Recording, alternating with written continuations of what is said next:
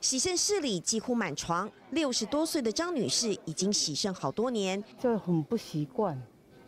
这么久了，还是有一点不习惯。因为长期吃来路不明的中药草，最后肾都坏掉了。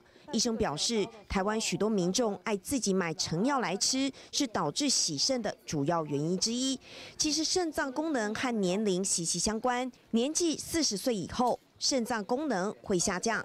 三高疾病的患者要更留意，血糖、血压没有好好控制的话，哦，可能会在进一步对我们的肾脏，哦的，尤其肾丝球部分造成一部分的损伤。